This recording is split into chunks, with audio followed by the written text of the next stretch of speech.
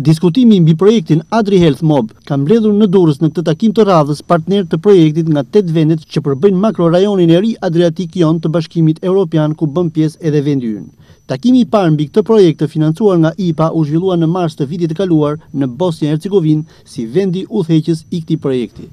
Sfidat të cilave u referohet ky projekt kanë të bëjnë me përcaktimin e një modeli të qëndrueshëm lëvizshmërie të informacionit dhe të komunikimit në sektorin e shëndetësisë dhe atë të kujdesit shëndetësor midis vendeve të makrorajonit, duke i bërë ato lehtësisht të aksesueshme, më racionale, më të mirë asistuara dhe më të qëndrueshme. Partnerë të këtij projekti lidhur me sfidat dhe dobitë e tij në rajon shprehen. Kemi fatin që të jemi partnerë në këtë projekt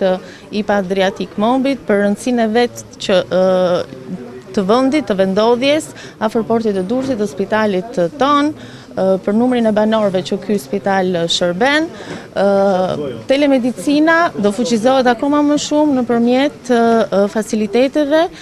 pajisjes së ambulancave dhe fuqizimit të pajisjeve të telemedicinës në spital, kështu që shërbimi për pacientët e rajonit të Durrësit do rritet në vazhdimësi. Projekti ka dy objektive kryesore. Dhe objektivet e projektit janë përmirësimi duke futur ICT, do të thotë instrumenta të reja dhe përmirësimi duke bërë politika për sa i përket lëvizshmërisë në fushën e shëndetësisë,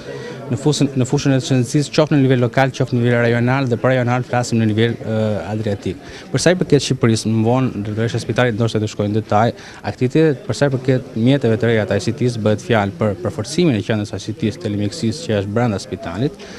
ekipment e një zone në port, një nga aktivitetet inovative të projektit është për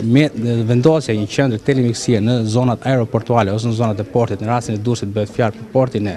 e qytetit, edhe është duke u testuar dhe të pilotohet pajisja e disa ambulancave në pronësi të spitalit me instrumente inovative Për sa i përket monitorimit të pacientëve gjatë fazës së emergjencës. Projekti synon të përmirësojë lëvizshmërinë e pacientëve ose të shërbimeve shëndetësore në këtë pellg, pra që të gjithë qytetarët e këtij pellgu të përfitojnë nga shërbimet më të mira që ndodhen, pra shkurt një pacient, një pacient shqiptar mund të bëjë një vizitë në Në Itali, po dhe ta ndjekë mjeku i tij këtu në Shqipëri,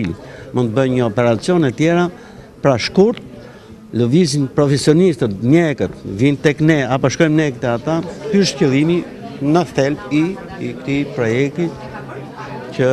përfshin këta 15 partnerë. Krijimi i aksesit në shërbime mbetet ndër sfidat kryesore të Bashkimit Europian që financon të tilla projekte me qëllim rritjen e bashkëpunimit ndërkufitar mes vendeve.